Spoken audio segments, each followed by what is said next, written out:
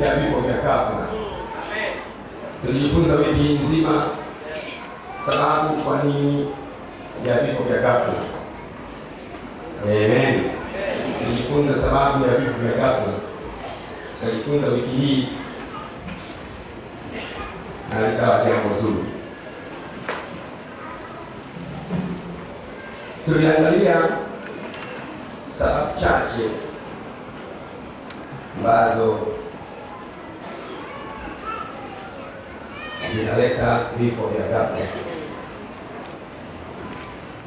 na tutajifunza tena somo hili la leo, alafu leo tutamalizia na baadaye tutaomba wote pamoja. Kama uko hapo uko mgonjwa, tegemea Bwana akuponye. Amen. Waliokufa wanafufuka, waliochukuliwa wanarudishwa. Tegemea Bwana atakusaidia. Mwambie mwenzako, tegemea Bwana atakusaidia. Mwambie tegemea Bwana atakusaidia. Vizuri sana. Kila ambacho mtu hawezi kufanya, Mungu anaweza kufanya. Open the. Mithali sura ya sita kuanzia mstari wa kumi na tano.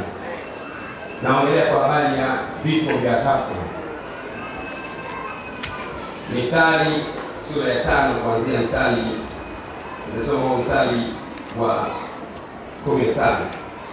Basi msiba utampata kwa ghafla, ghafla atavunjika bila ya kupona. Nikafungulia na Zaburi, Zaburi hamsini na tano mstari wa kumi na tano.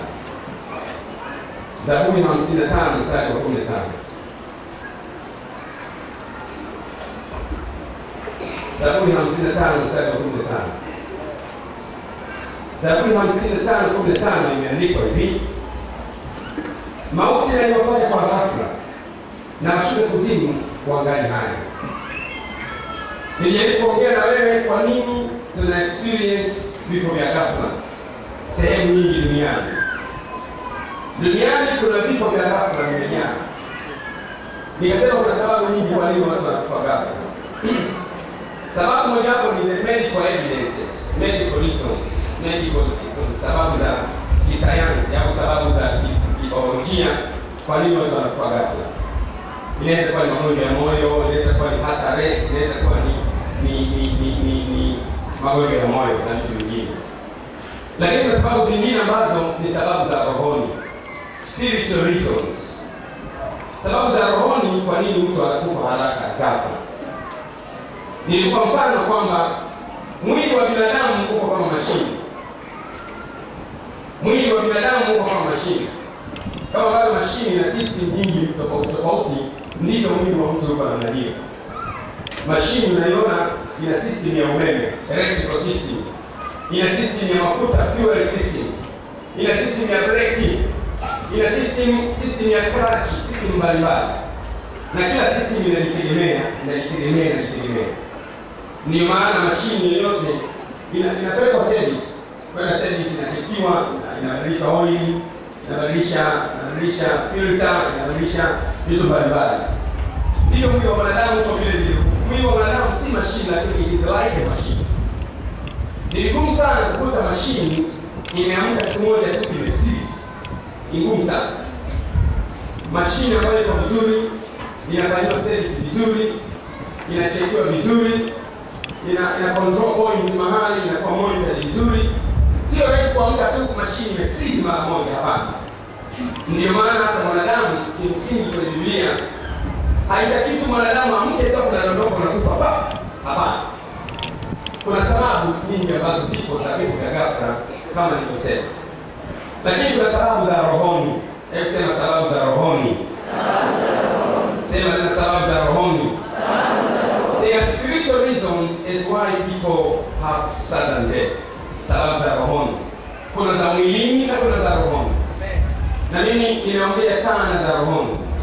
Na leo nataka nisisitize sana za rohoni pia kwa nini inatokea. Ukiangalia kwenye Biblia kuna watu waliokufa when you look in the Bible there are people who. Lakini watu hawa kuna mtu ana salamu ya kifo. Kwa mfano utaona utaona Hezekia akaugua jipu, akawa kwenye hatari ya kufa. Unaona mtu ameugua jipu na sasa anataka kufa kwa sababu ya hilo jipu. Utaona mfalme Ahazi kaanguka juu ya ukuta na akavunjika mguu, akawa kwenye hatari ya kufa. Unaona, unaona ile ah, Luka Yohana inasema ah, alikuwa mgonjwa huyo Lazaro alikuwa mgonjwa. Bwana Yesu akamwambia, Bwana, yule umpendaye hawezi. Ile neno hawezi maana yake ni mgonjwa. Ile Yohana sura ya kumi ya kumi na moja ile yule umpendaye hawezi. Unaona, kwenye Biblia ya Kiswahili inasema tu hawezi, lakini the English Bible says he sick. Ile Yohana sura ya kumi na moja. Yohana sura ya kumi na moja. Utaona Yohana sura ya kumi na moja inasema waziwazi, mstari wa kwanza, now a man was named Lazarus was sick, was sick a disease, alikuwa mgonjwa mpaka akaugua mpaka akafa, ni ugonjwa. Na hata ukiona mara nyingine kwenye kuna mtoto aliyefariki naye aliugua ugonjwa, akaenda kwa baba yake akamwambia, baba, kichwa changu, kichwa changu, anauma kichwa huyu. Unaona binti yayo alikuwa na homa alipofariki. Utaona kabisa they went to Jesus tell Jesus you know kwamba mwanangu ana homa, ni mgonjwa, njoo umponye. Yuko katika hali ya kufa. Kwa hiyo naona duniani kuna magonjwa na magonjwa haya yanakuwa na sababu mbalimbali, sababu zingine za kibiolojia, sababu nyingine za kiroho, lakini wewe za kibiolojia au za kiroho, tunaamini Yesu anaponya magonjwa. Amen. Kwa hiyo utaona ameugua huyu mtu, na baada ya kuwa ameugua mtu huyu, sasa ni mgonjwa kabisa kabisa, hawezi. Na sasa yule yule yule Yairo akaenda kwa Yesu, akaenda kumwambia Yesu, Yesu, mwanangu ni mgonjwa. Wakati anajaribu kuelezea ugonjwa, ndipo akaambiwa Yairo, usimsumbue mwalimu, binti yako ameshakufa, lakini alikuwa mgonjwa alikuwa mgonjwa, anaumwa. Tunaanza kuona kumbe mwili kama mwili unaweza kupata magonjwa kwa sababu ya infections tofauti tofauti. Inaweza kuwa ni virus au bacteria. The body can be sick because of various reasons. Bacterial infection au viral infection inawezekana, lakini pia mwili unaweza kuwa mgonjwa kwa sababu ya sababu za rohoni. Kifo kinaweza kutokea kwa sababu ya sababu za rohoni. Ndiyo maana nitakuonyesha kwa habari ya malaika wa kifo. Kwa nini ukisoma, kwa nini ukisoma kwenye kitabu cha Ufunuo, Ufunuo sura ya kwanza, Ufunuo sura ya kwanza, Ufunuo sura ya kwanza, kuanzia ule mstari wa ule mstari wa kumi na saba. Yesu anasema hivi, nami nalimwona nianguka miguuni pake kama mtu aliyekufa. Akaweka mkono wangu wa kuume juu yake, akasema, usiogope, mimi ni wa kwanza na mwisho na aliye hai, nami nalikuwa nimekufa, tazama ni hai milele hata milele, nami ninazo funguo za mauti na kuzimu. Hebu sema nami ninazo funguo za mauti na kuzimu. Ni nani anayesema hayo? Sema Yesu. Unaona, Yesu anasema mimi Yesu ninazo funguo za mauti na kuzimu. Maana yake Jesus has power over death and life. Yesu anazo funguo, na ndio maana unaona sasa, kumbe mauti mauti ma, mauti sio tukio, mauti sio tukio, isipokuwa mauti ni roho ya kifo. Tunaweza kuangalia kwa nini unashangaa mtu anakufa ghafla. Sehemu nyingi watu hufa ghafla kwa kujiua, kujipiga risasi, kujinyonga ni kama Japani. Mimi nilipokuwa Japani niliona Wajapani wengi huko kwa kujinyonga, kujinyonga au kujipiga risasi, kujiua kwa sababu ya sababu nyingi, sababu mbalimbali. Ulaya watu wengi huko kwa kujiua, vijana kwa kujiua, kujinyonga. Lakini ukiangalia sababu, unaweza kusema labda ni stress, labda nipata matatizo akafanya hivi ikawa vile, lakini na hii sensi, kuna roho nyuma yake. Kama ambavyo gari bila injini haiwezi kufanya chochote, ndivyo ambavyo kila wickedness ina injini ya kusukuma huo uovu. Ndiyo maana nikasema kifo cha ghafla, mtu anakufa ghafla, anatembea anaondoka ghafla, Nikasema nitaongea sababu nyingi, sababu za rohoni. Nikasema hasa ni vizuri kunisikiza kwa makini. Mungu alipoumba aliumba ulimwengu wa aina mbili, au kuna ulimwengu wa aina mbili. Kuna ulimwengu wa rohoni na kuna ulimwengu wa mwilini, physical realm and spiritual realm, ulimwengu wa roho na ulimwengu wa mwili. Hebu sema ulimwengu wa roho na ulimwengu wa mwili. Ulimwengu wa mwili ni upi? Physical realm.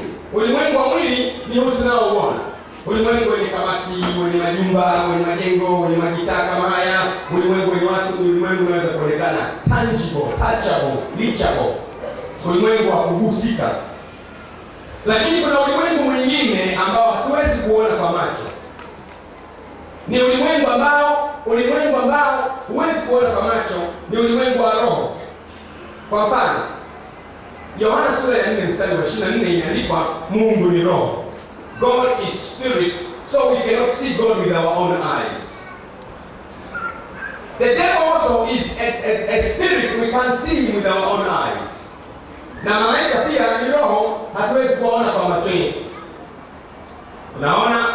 Pia na mapepo ni roho, hatuwezi kuona kwa macho yetu. Lakini kwa sababu hatuwezi kuona, haimaanishi hawako. Kwa hiyo naona kuna ulimwengu wa roho na ulimwengu wa mwili. Kuna ulimwengu wa roho na ulimwengu wa mwili, na kuna viumbe vya roho na viumbe vya kimwili kabisa. Viumbe viumbe wa kimwili kama ng'ombe, sungula, kondoo, mbuzi, nini, viumbe wa kimwili, binadamu, viumbe wa kimwili wako kabisa. Viumbe wa kimwili wanaweza move from one point to another, na kuna viumbe wa rohoni hata Mungu mwenyewe ni wa rohoni, hawezi kuonekana. Kuna viumbe wa rohoni, malaika watakatifu.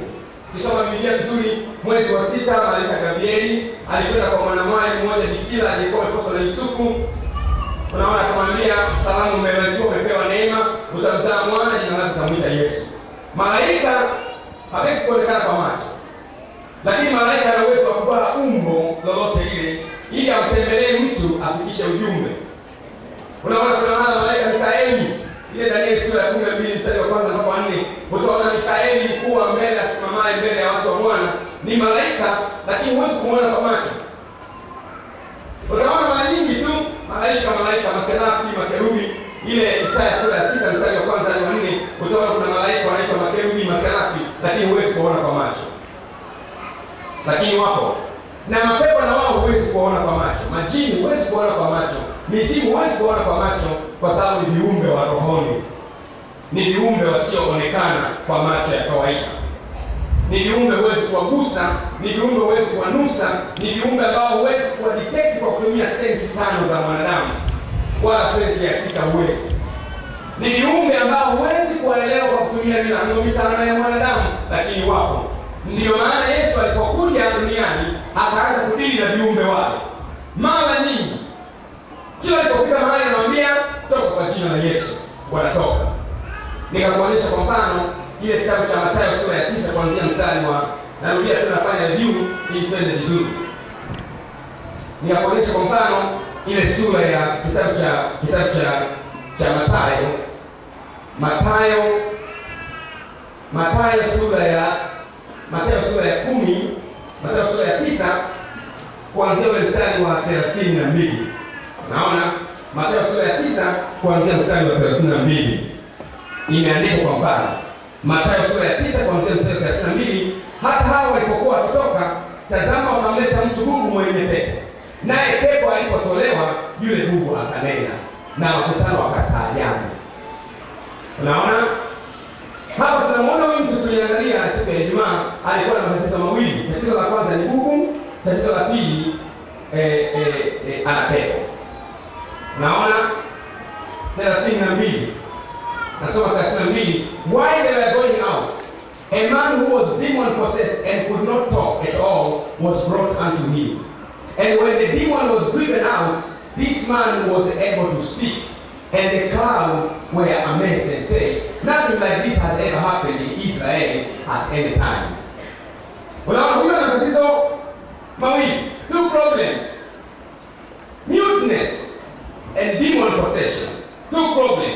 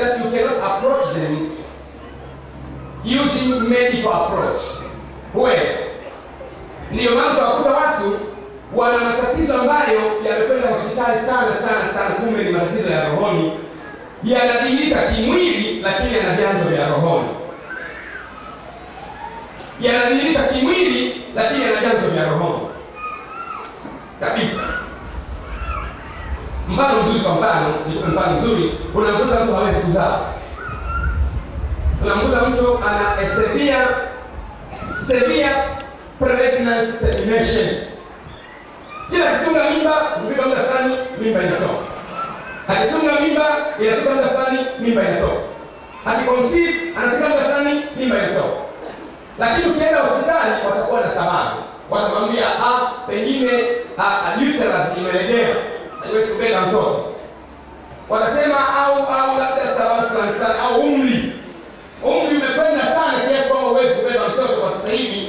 Wanasahau sala alibeba akiwa na miaka tisini na moja mimi na sana Na kuna historia sala alikuwa na bed rest. Alizaa vile vile na akanyonyesha mtoto wake Isaka na watoto wake na wajukuu wa Isaka wangali wanaishi mpaka leo. Ina maana kuna kitu zaidi ya medicine. There's something beyond what we think, beyond our knowledge, beyond our philosophy. There's something beyond our thinking capacity. There's something that our academics cannot handle. Kuna vitu ambavyo elimu.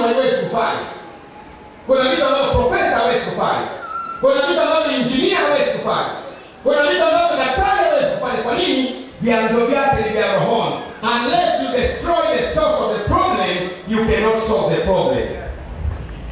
Mpaka utakapoangamiza chanzo cha tatizo, ndipo utatatua chanzo cha tatizo. Watu wengi wanajaribu kutatua tatizo, unasema hivi, you know, tatizo langu mimi nikitunga mimba inaharibika. Ah ah, hilo sio tatizo lako, hayo ni matokeo ya tatizo lako. Tatizo langu mimi nikiolewa sikai kwenye kwenye ndoa. Hilo sio tatizo. Hayo ni matokeo ya tatizo. Tatizo lipo.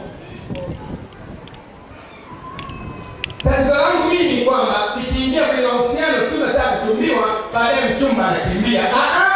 Hilo sio tatizo. Hayo ni matokeo ya tatizo. You must know how to differentiate between a problem and actually a result of that problem. Watu wengi sana wanashughulika na matokeo ya tatizo, ndiyo maana hawezi kupata matokeo husika. Ndiyo maana mtu anaweza kwenda kuombewa mahali akasema hivi, mimi kwa shida yangu sizai watoto. Oh, uzai watoto. Okay. Baba Mungu, kwa jina la Yesu Kristo mwana Mungu ali hai, huyu Mungu Mungu mpe watoto. Mungu naomba mpe watoto. Mungu alishasema zaeni tayari. 我想帮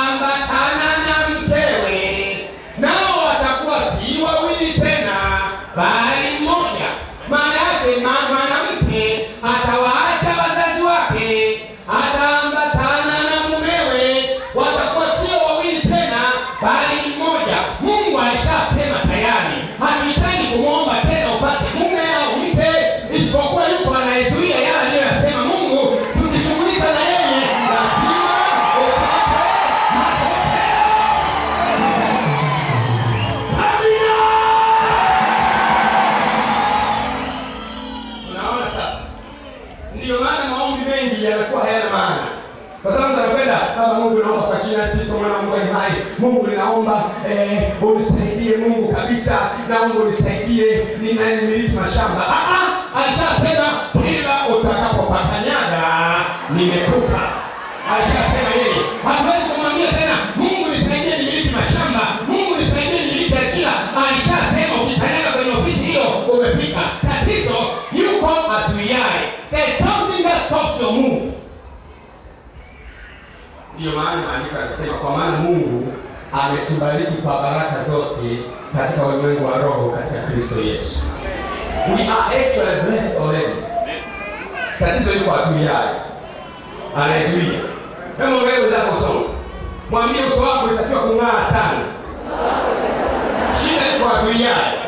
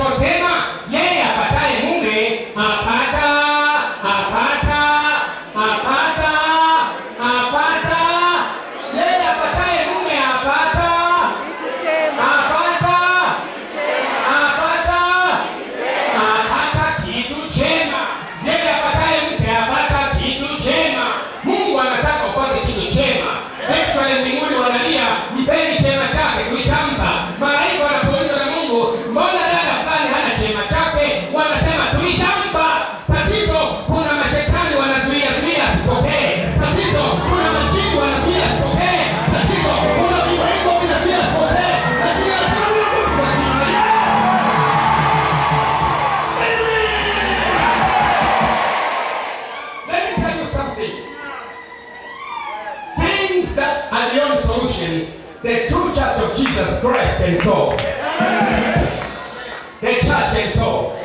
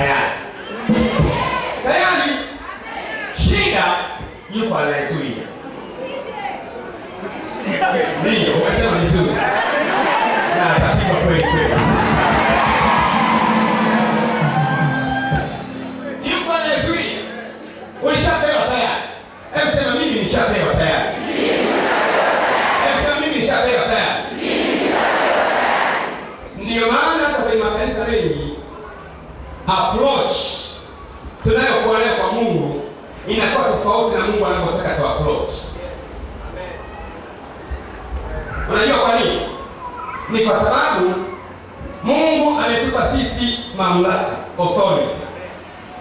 Jesus gave us authority. What is authority? Mamlaka ni authority.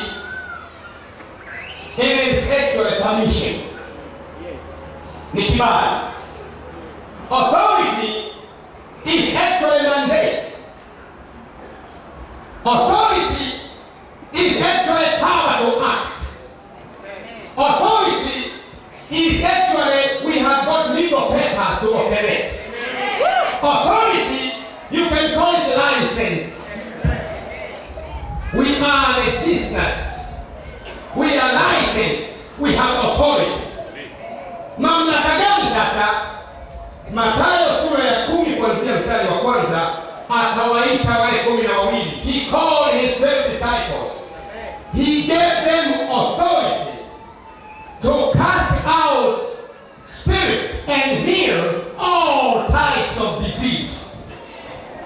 Authority tumepewa. Hatumwendei Mungu kumwambia tena, Mungu Baba, kwa jina la Yesu naomba unisaidie uniponyee mgonjwa huyu. No, Jesus gave us authority. It was not our idea, sio wazo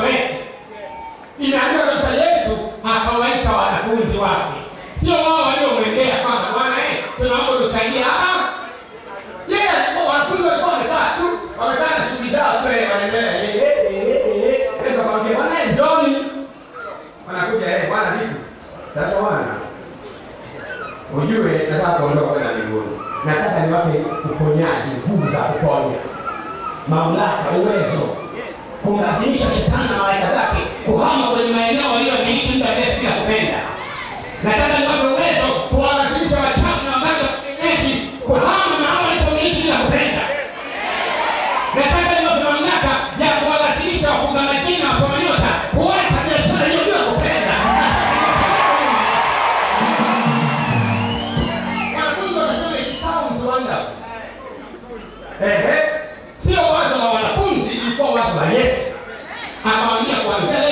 nimewapa mamlaka juu ya pepo wachafu, muwatoe.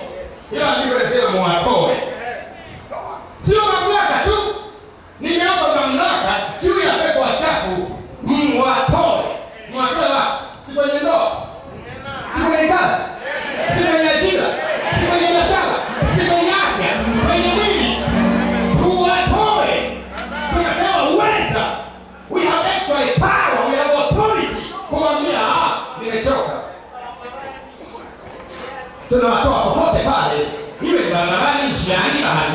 爆弾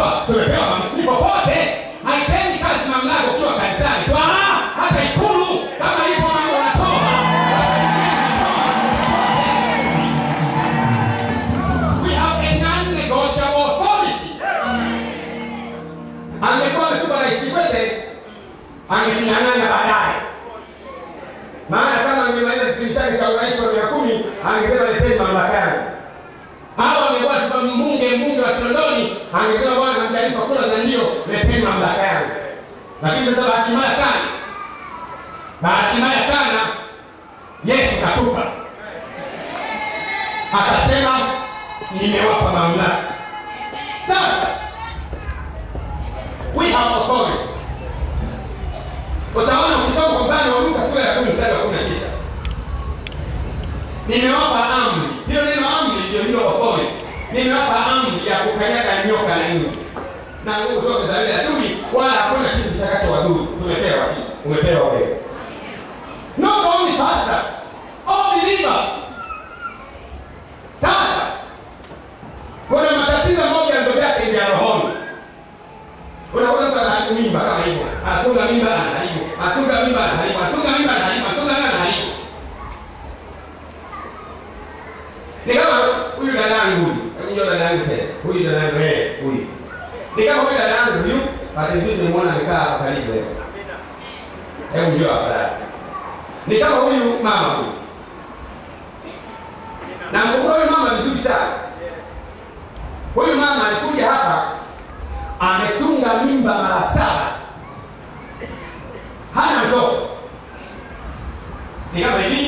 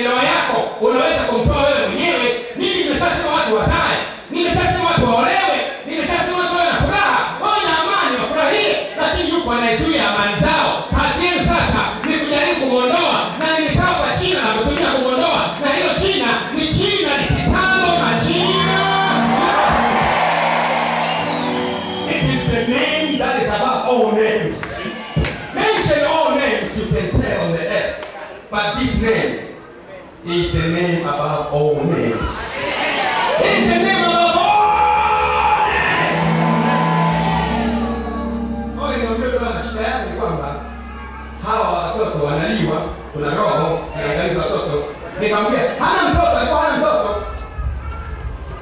Umekwenda sana, nikamwambia umri wangu ni mchungaji, sina tatizo. Nikamwambia sikiliza, usimlaumu Mungu, kuna viumbe wanakaa